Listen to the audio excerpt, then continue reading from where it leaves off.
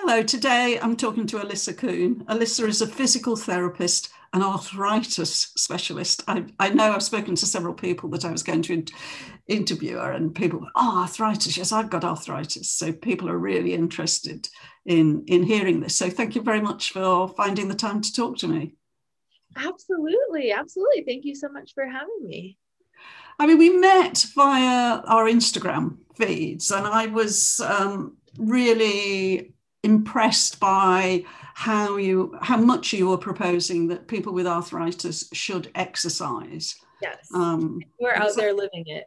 yes. Whereas most people go, oh, I've got arthritis. I need to be careful. I mustn't injure my joints. Um, and this is not the view you support at all. No, because and i think one of the biggest things is when people hear the diagnosis of arthritis or have joint pain you don't necessarily need a diagnosis but um they just become fearful, like second guessing every exercise. Like, is this good for my joints? Is this going to cause more damage? And then it leads to a path of inactivity. And I mean, we're not very active lately, anyways. And so it's, I mean, figuring out how we can increase that activity and decrease that second guessing and make you more confident in exercise because people can really be fearful. And that's, a very real thing. And um, just because there's a lot of myths about damage and what's good for your joints and what's not. And so I'm trying to kind of push that out there so people feel more confident being active. Yeah, yeah. And so, I mean, I've seen you posting, putting posts up about, you know, if you've got knee arthritis, you can still walk and hike and things like that. Can you and run?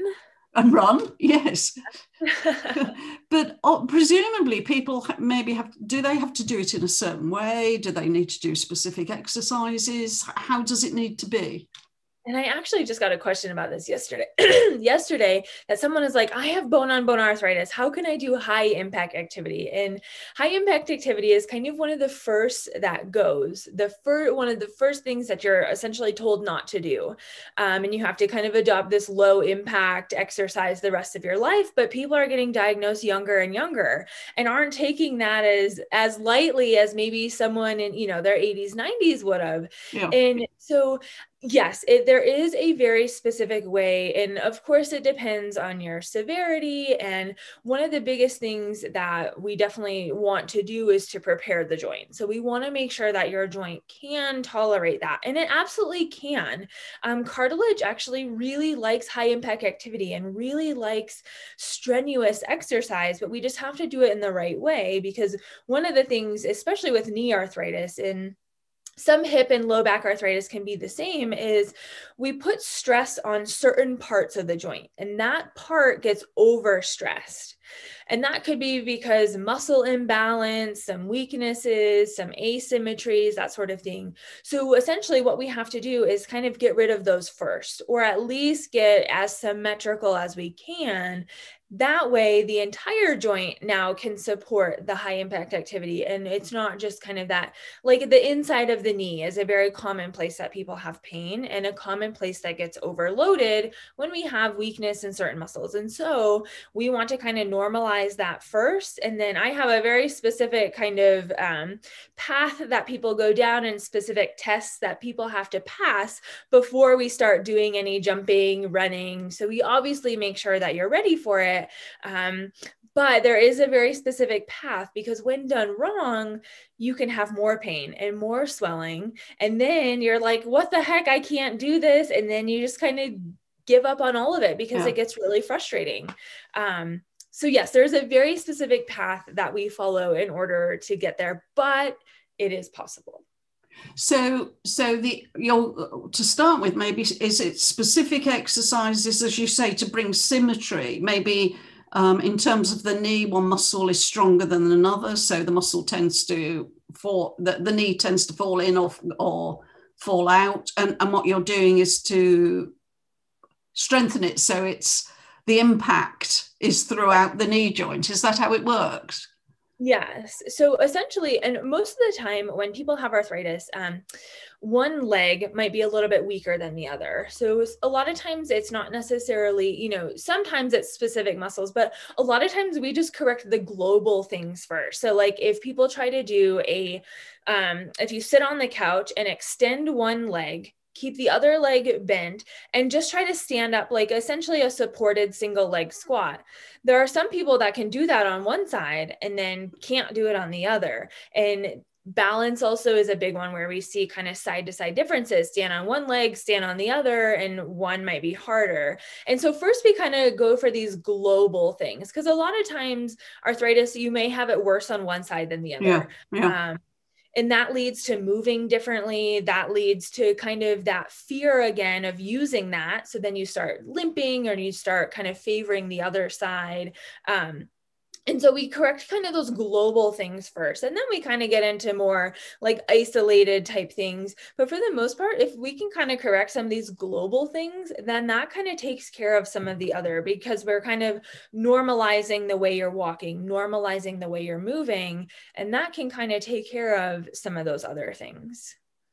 Right. And so so do you give people exercises to do at home? Is that is that what happens Yes. So I am all about exercising at home. I, as a physical therapist, I don't even have a clinic um, because I think it's super important that, I mean, it's great to go to the gym and it's great to do those things. And there is absolutely a time and a place. But for a lot of people that are just starting, that's a big hurdle to mm-hmm. overcome. Mm-hmm. And so one of the things that I, t- all the videos I take are in my own home or in other people's houses um, because I think it's really important to feel empowered at home to be able to just do and my biggest thing is like 10 to 15 minutes of exercise at least to start and so most of the workouts that we do in the beginning are in that time frame because i have a lot of people like i have one woman who never really worked out. She was active but never was on a workout regimen and she's like you know what i'm really surprised i don't dread doing this because it's only 10 to 15 minutes and then i can go on about my day it's not like get ready for the gym go for an hour come back like it's this whole routine. Yeah, yeah. so it's very bite-sized pieces and very easily done in the home because there's so many, so much cool equipment out there now um, that you don't need like a full set of dumbbells. You can use TRX suspension straps, you can use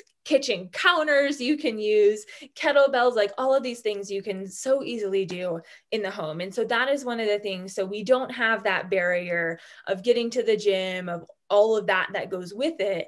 Um, but then, of course, I mean, to get more strength in things, the gym absolutely um, has its time and place. But um, for the most part, I do everything in homes. I even go to clients' homes too. So you can yeah. see kind of yeah. a little bit better about what they're working with and everything like that. And, and do you get people who, you know, you, you, you explain all of this and give them their what they're going to do and, and who just are too apprehensive to do it even though even though you've explained it all sometimes it is an uphill battle and that is not necessarily on the person because the hard thing about arthritis is it's not necessarily like a linear progression of improvement we kind of have these ups and downs. And sometimes we have flare ups. Sometimes certain exercises actually cause more pain. And it's more of a trial and error type thing. And so mm-hmm. we always talk about that before because I always say it's, it's so important to exercise your mind before your body because so often we just go right to trying all these special exercises that our friends or family or even some doctors tell us. But if we don't really understand why we're doing it, then we're kind of missing that step. Or if we also don't understand what to expect. Yeah. So exercises are not necessarily going to be pain free. Some discomfort is okay. Um, but it's kind of starting out with those exercises that are going to be nicer to the joints.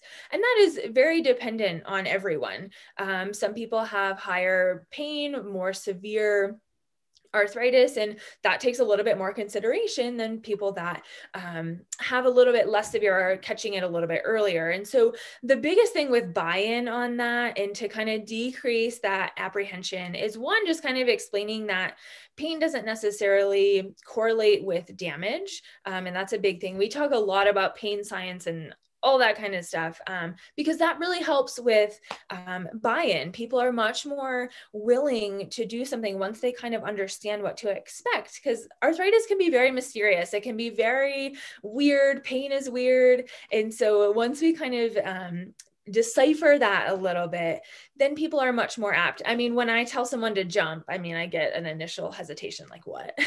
I haven't jumped in years, or tell them that, you know, we're going to get to running. People are very apprehensive about that. But when they start like actually squatting with weight and feeling good about it and start doing these things, then those things become a lot easier. Um, so it's all just about kind of, and that's the hard part about because because sometimes when people go to physical therapy or they go to a personal trainer or something um, and they just start immediately with all of these exercises and trying all these things they leave with more pain more swelling then that absolutely becomes more apprehensive. But with arthritis it's kind of all about kind of that initial giving you the confidence giving you the knowledge you need to exercise your mind before your body. And that's where we see kind of the possibilities unlock yeah, yeah. And I guess, I mean, if people go to the gym, when you go to the gym, you don't think, oh, I'll do 10 to 15 minutes and then I'll go home again. Exactly. Because, you know, I've come on, I've got my gym gear on, you know, I've, I've psyched myself up. I got to the gym. You know, I need to spend at least an hour here, um, right. which may not be appropriate, at least initially, for somebody with arthritis. Whereas if they're working out from home, then it seems much more okay to just do 10 or 15 minutes of workout. Yeah. And absolutely, I mean, there are modifications for everything. I mean, if you wanted, like, if you came to me and you were like, you know what, I have arthritis pain, I really need to get working out, and maybe you had a history of working out in the gym, we can absolutely make the gym work. Yeah. Um, but I just find, a, especially a lot of the people dealing with arthritis, they've kind of given up on exercise for the past few years. Um, and so the goal may be to get back to the gym. But for the most part, I mean, working out at home has become much more normalized now. And so yeah. people are like, oh, wow, we can actually, you know, do these things at home don't necessarily have to go to the gym. And so working out at home is more attractive because then you don't have to go there and, you know, um, so it's absolutely modifiable to whatever you need. But for the most part, a lot of people find that kind of 10, 15 minutes as being very attractive. And most of the time they're active doing other things too. Um, because obviously we want to, you know, get as much activity as we can without flaring up pain or swelling. But um, most of the time, people are also like hiking, walking, supplementing things. And so that is kind of a big thing too. Walking is one of the most common forms of exercise when you have arthritis. But just adding that 10 to 15 minutes in before, you can get so much more benefit from just walking, um, just adding these short kind of bursts in between or before or after. Um, so it just makes it much easier because the biggest thing is adherence. We don't want people to give up. We want people to get into this consistent routine because without consistency, you're not going to see results. Mm. Um, and so that is one of the biggest things that I have found that people are more consistent when it's much more doable, especially traveling. I have a lot of people that travel and they take their band, they take their TRX strap, and they still work out on vacation for the most part, but they still get in the 10 to 15 minutes. And that's what's so great about it. It's just very versatile. And that is kind of, I think, one of the most important things because if I'm giving you something that you need all this equipment for, adherence kind of lacks, especially yeah. you know yeah. vacation and things come up and things like that. Do, do you find at all that people meet resistance from other people? Um, I remember I was showing um, a, uh, one of my gym videos to a friend, and he got incredibly agitated and was going, You mustn't do this, you mustn't do this. And I went, Why not? And he went, You will injure yourself, you will injure your back. And I went, No, won't. This is actually strengthening my back. Exactly. And he was really agitated especially like when you're lifting weights and things people can get really because it's all of that those myths out there about yeah. you know you're gonna bending your back doing a deadlift is not good and you know all of these things um I don't necessarily meet any resistance from the actual people that I'm working with um, because we do like specific tests to make sure like okay you can do this specific test so now we can jump and so yeah. people are much more willing to kind of try that um but some i meet resistance of course online um posting things that and it, not necessarily bad resistance but posting you know people running with knee arthritis. And people are like oh my goodness i didn't think that you know i could do that. I was told i shouldn't do that. And so people are like oh that's possible. Well how is that possible? And so i get kind of some questions that way. But i think one of the biggest things is actually showing people doing them versus showing myself doing them i think can be very empowering mm-hmm. because you know people who you know think running is impossible or think like squatting with a 35 pound kettlebell when you have like spinal stenosis and things like that. People are like oh my goodness i don't think i could ever do that. That's bad for your back. But actually showing somebody doing it and showing kind of the journey i think is kind of it kind of helps with that sort of thing that it is possible you know with hard work and dedication and things like that. But um surprisingly i don't necessarily meet a ton of resistance and i think it's from like actually showing clients. And I think yeah. the biggest thing with you is just showing that you can do it. And people are like sitting, you know, in their 60s, 70s, 80s, and it's like, oh, wow, like maybe I could do that. And it's really actually empowering. So I can take a little bit of the resistance. Yes. Uh,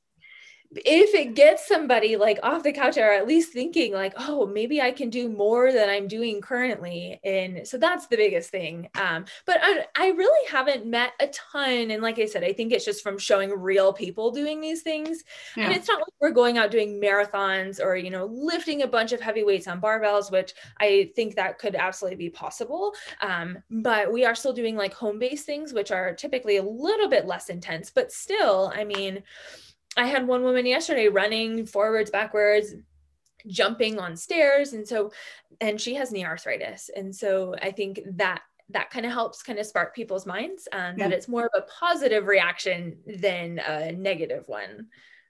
What what sort of? I mean, I'm I'm sure you get a great deal of satisfaction from lots of different clients and their how they're they're improve how much they improve and things. But uh, are there any particularly that people that stand out in your mind as particularly satisfying or good the way the way things have changed for them? Yeah, so I actually have two people I've been working with for a long time. Um, one of them um, he had spinal stenosis he had some starting of knee arthritis hadn't worked out in a long time um, had gained some unwanted weight all of that and finally was just like you know what? I want to make a change. And we started very very he kept getting back spasms and we started very very light support with everything very controlled movements and it has been amazing the transformation that he has made now he owns a 25 pound kettlebell a 15 pound kettlebell some weights some trx suspension straps he has worked out almost every day with rest days um, for the past like six months. Now he's goblet squatting with that 25 pound, and I think he has a 35 too, um, kettlebell swings. And it's not necessarily just the physical, like, oh, I can swing a 35 pound kettlebell. But it's the fact that now, and he's messaged me before, he's gone to Top Golf and was able to swing a golf club without second guessing or anticipating that back spasm he has gone hiking with his family in California, which used to be very anxiety um, causing because he wasn't unsure. He was unsure if he was going to be able to go, but now can go up and down no problem. And so it's just opening all these doors. He can climb the stairs without huffing and puffing. And so it's definitely made some really big life changes, even getting dressed without pain or having that back spasm. I mean, a lot of times it's just the little things that make it mm. so much easier. Um, and so he's one of them. I post about him all the time um, because I think it really is inspiring, but not discounting that he's done a lot of work on his end. Um, and that is the biggest thing is just consistency. Mm. But he has done absolutely amazing and now doesn't even have to deal with pain. Sometimes pain relief, like total pain relief, isn't necessarily the goal because sometimes it's hard with arthritis. Um, but it's making sure it's not limiting you, making sure that it's tolerable. I have one woman who was afraid to do anything that uh, triggered any sort of pain, even a little bit of discomfort. But now her mindset is totally shift, and she is like, you know what? Anytime I experience discomfort, I just kind of ignore. I don't even really pay attention to it, and that is a big thing that opens a lot of doors because then we don't we're more apt to do things we keep moving which is so much better and so that is another woman i've been working with for a long time she's been running after knee arthritis and finally ran her first mile and so um, we've i've had so many um, people that have done amazing things and there are some people who you know things don't work and it's we have to kind of look at other options so it's not necessarily all butterflies and rainbows but we can at least get you to the point that you know you can actually accomplish some things that you never thought you would have been able to so I've yeah. had I've had lots of inspiring people um, that definitely put in the work and see the results. Yeah, yeah, and and I think you said once before when you and I had a chat, you you were talking about research where looking at uh, people's spines and um, the state of the spine doesn't necessarily correlate with the amount of pain the person is experiencing. Can, can you tell us just a bit more about that? Yeah, so with arthritis and um, degenerative disc disease, spinal stenosis, all of these kind of um, degenerative chronic conditions, we focus a lot on x rays. We focus a lot on MRIs. People, whenever I see people, the first thing they want to do is show me their x ray or show me their MRI.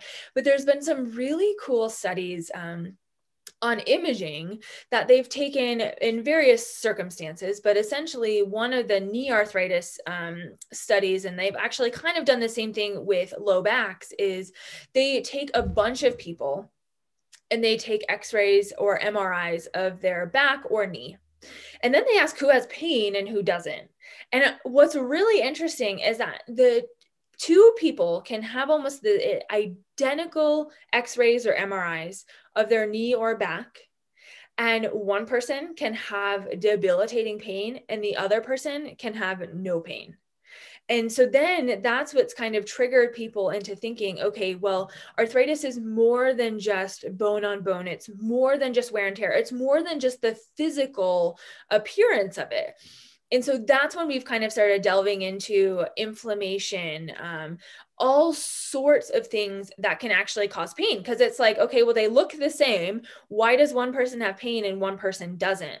Well maybe the person that has pain has you know maybe diabetes they have another chronic condition or they've been dealing with a lot of stress recently or they've been eating a lot of inflammatory foods or they've been not necessarily very active where this person has been really active um, and so there are so many other factors that go into but we think about and we see this x-ray and i have people that come to me and they're like you know what? I think i'm going to get an x-ray just so i can see what's going on when in reality, when we see what's going on, we see that degeneration, we see that joint space narrowing, we see these things, and it's like, oh, wow, I think it's worse than I thought. And that is what we don't want because then yes. we start to play with our mind a little bit. And it's like, oh, well, this is worse than I thought. And then it starts to kind of um, affect how we do things.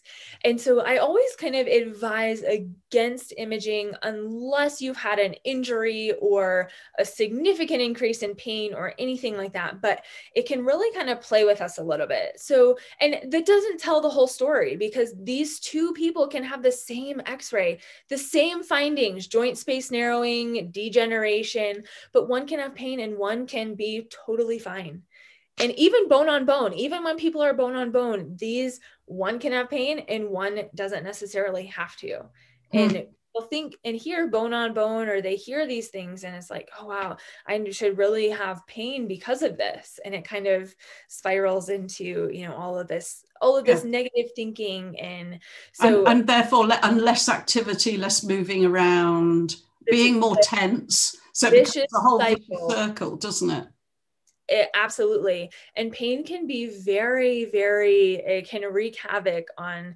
our entire lives without us even knowing it. We become more irritable, we become more stressed, we become all of these different things. And so it can definitely play a negative role if we look at our x ray or MRI and see things that we're not really sure about or we're confused about or that look on the x-ray different but i actually really like i've been delving into some pain science recently and i cannot remember who said this but um, he was talking about um, pain and imaging and was like degeneration is just wrinkles on the inside.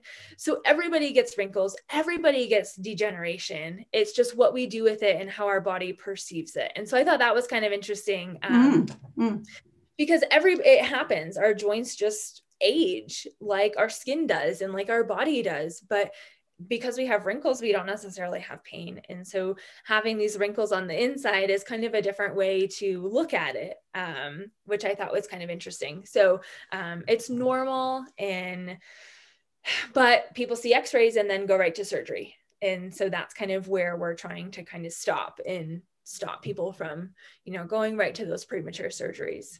Mm a real a real measure of, me, message of hope. I mean, not only a message. I mean, it's not just some airy fairy message of hope. I mean, I know you're really well researched and have a lot of experience experience of this so it's not oh don't worry about it you know you can still work out if you have arthritis or something very vague it's very specific and things if people wanted to know more about you you've got a website yeah which it was yeah. What's the address of your website, Alyssa? keeptheadventurealive.com. Love, a, a lovely name for it. Yeah. or um, you can go to YouTube as well. Um, you can search my name, Dr. Alyssa Kuhn, or if you search Keep the Adventure Alive, it should come up as well. Um, lots of tips and tricks. And one of the things about hope is that um, like I said, it's not necessarily butterflies and rainbows that, like, if we work together, you can do all this magical things. I mean, you can, but it does take hard work and it does take, we do have those ebbs and flows. It's not perfect all the time, but it's just having someone or having that confidence to know, like, this is normal, this is okay, and we can continue. Yeah. Um, yeah. So that is, yeah, absolutely important. And so, so do you, um, do you take clients over Zoom? Or do they or do they have to be physically there so I can do physically there. So I'm in Utah. Um, I can do virtual. So I actually just met someone in the UK last week, um, and we did a virtual call. Um, I'm also launching a really exciting online course because I want to be able to kind of reach the masses. And so that's the Arthritis Adventure Blueprint that's going to be released in the next couple weeks. So I have lots of options. So um, the personal one-on-one is definitely much more of an investment, and the arthritis adventure blueprint is going to kind of be a stepping stone to kind of teach a lot of this kind of stuff off the bat. So that way, if we do work together, we can kind of get right into it. Um, and so that is kind of it. That is a an option that will be released soon. Okay, and yes, we have your book. Move well, age well. I love what you say on the book on the back because it says this book is designed to give you the key steps towards achieving success with mindset, memory, exercise, osteoarthritis, and balance. These are all common things that can be affected by increasing age, but you don't have to let them hold you back from doing the things you love. And that's where the keeping the adventure alive comes from, isn't it? That people give up on all the adventurous things they did because yes. they have arthritis. Which is um, why yeah. adventure doesn't have an age limit. It doesn't, I mean, we see people like that are 60, 70, 80 out on the hiking trails at one of the ski places. If you're over 80 and skiing, it's free. So it's like oh, right. people are, yeah, people are like very adventurous. And so but a lot of times in our culture now we tend to give up on all these things because we think pain is normal and all of this decline is normal and it's not. Um, and so even at 50 60 i mean you just can't start giving up on things. Um, we have some of these speed bumps whether it's arthritis or another condition and we just have to kind of work through those speed bumps and they're just kind of an obstacle not necessarily a death sentence to everything that you love yeah, yeah. Thank you so much. That's Absolutely. really interesting, optimistic, a joyful. Uh, that's the goal. We're creating a positive environment and optimism and hope because there's not enough of it out there.